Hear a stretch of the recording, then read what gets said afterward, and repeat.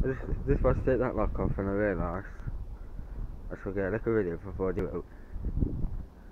And then this it really put this trailer instead, when. But we're supposed to get a little video on it. That did snap. But it's all loading on, so sorry. It's my little uh, road train. I'm gonna be clever one day, I might get through on.